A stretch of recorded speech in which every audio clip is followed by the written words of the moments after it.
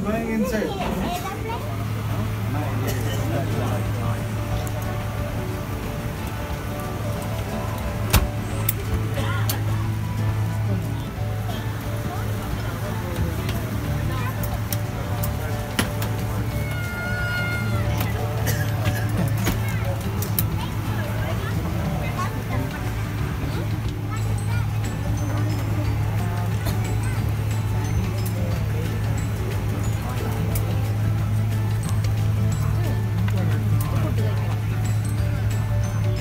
Mobile phones and electronic devices or change to flight mode.